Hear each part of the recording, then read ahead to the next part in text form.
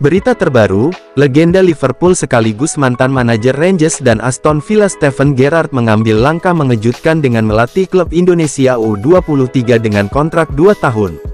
Padahal, sebelumnya ia mengisyaratkan tak ingin ke sana. Gerard menjelaskan alasan di balik keputusan mengejutkan itu, menekankan pentingnya kesejahteraan keluarganya, ketertarikannya untuk menghadapi tantangan di sana, dan juga memuji proyek sepak bola ambisius yang dicanangkan Indonesia, yang sejalan dengan nilai-nilai yang ia anut. Gerard berbicara kepada tim media Indonesia, saya rasa ada banyak alasan mengapa saya ingin bergabung dengan klub ini. Menurut saya klub ini memiliki banyak orang baik yang mewakili klub dari dewan direksi sampai jajaran bawah. Ketika saya ke Indonesia, saya mendapatkan rasa kekeluargaan yang kuat, mereka membuat saya merasa sangat diterima.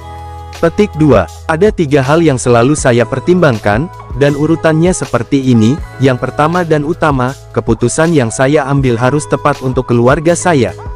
Lalu kami harus merasa senang dan termotivasi dengan tantangan yang ada.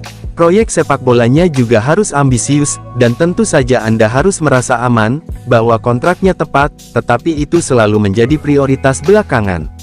Tapi berita itu semua hoak, Bima tetap melatih timnas Indonesia.